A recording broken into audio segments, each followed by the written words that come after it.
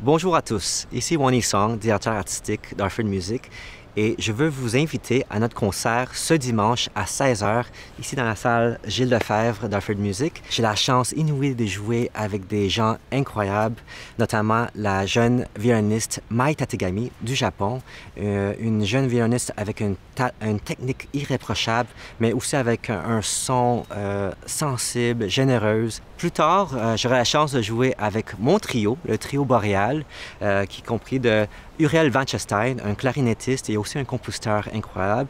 Euh, on va jouer même son, trio euh, pour clarinette et alto.